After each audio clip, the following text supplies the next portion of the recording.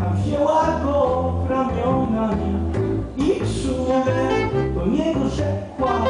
ty jesteś rodem z piekła, ja jestem rodem z nieba, nic nie